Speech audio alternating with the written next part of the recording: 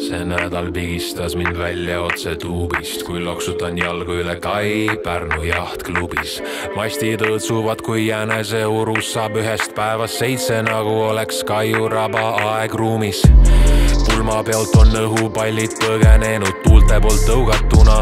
taeva all on tõde lennus, pilvedest on paista sada tuhat lambad alla, kes suhkruvatis teevad kordamööda kukerpalle mul meilid loetud enne kui ma maandun, kui mälu ei peta mind, siis lõuna suunas kaldun, kuid ei suuda võidelda ma hoovuse tujuga, sest ma vajusin põhja, aga õppisin ujuma.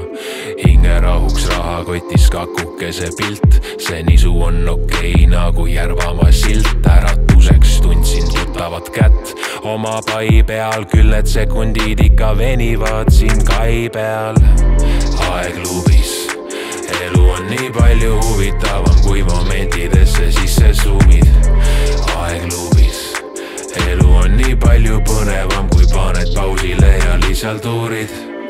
aeg luubis, elu on nii palju huvitavam, kui momentidesse sisse suumid. aeg luubis, elu on nii palju põnevam, kui tõmbad ilmselt maffiani, kui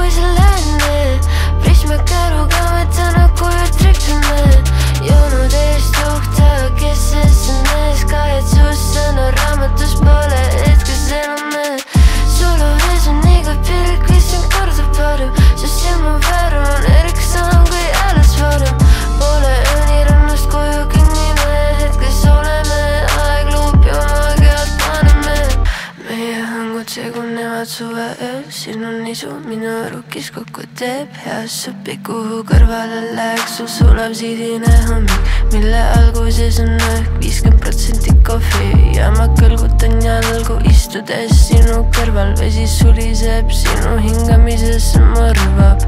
laine crashivad su selja taga vastu kive, tulen mulle praegu on piisavalt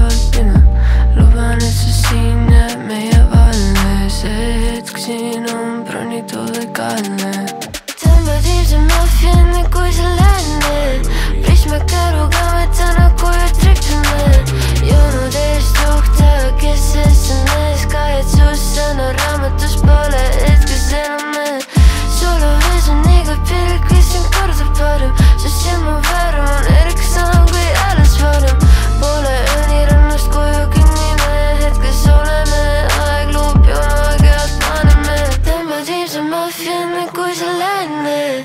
mõistmega rugame täna koju tripime joonud ees tohta, kes SMS kahetsus sõnaraamatus pole hetkes enam me solo ees on iga pilk lihtsalt korda parem, su silma väärab, on erksam kui alles varem poole ööni rannas koju kõnnime, hetkes oleme, aeg luubi omaga